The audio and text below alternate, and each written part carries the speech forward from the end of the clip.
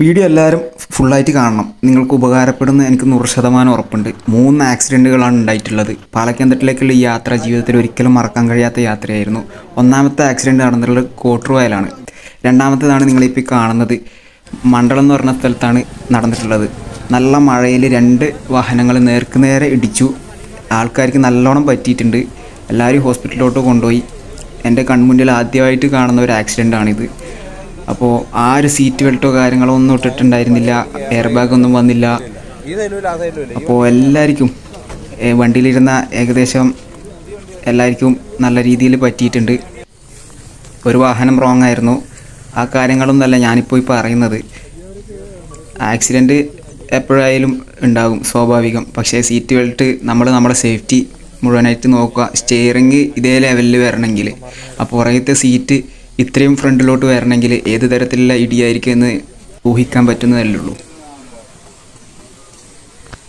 വാഹനം പൂർണമായിട്ട് ഫ്രണ്ട് നശിച്ചിട്ടുണ്ട്. ഫ്രണ്ടിൽ ഒരു പെങ്കൊച്ചായിരുന്നു ഉണ്ടായിരുന്നത് ആ പെങ്കൊച്ചിന്റെ മുടിയാണ് നിങ്ങളിപ്പോൾ കാണുന്നത് ആ ഫ്രണ്ടിലെ ഗ്ലാസ്സിന് തല കൊണ്ടുപോയി അടിച്ച് എന്താ പറയുക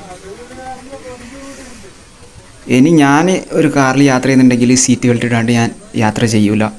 അപ്പോൾ നിങ്ങളും തീർച്ചയായും സീറ്റ് ബെൽറ്റ് ഇടണം. അവിടെ നിന്ന് ഒരു രണ്ട് മൂന്ന് കിലോമീറ്റർ വന്നില്ല. അപ്പോഴത്തേക്ക് അടുത്ത ആക്സിഡന്റ് കണ്ടു.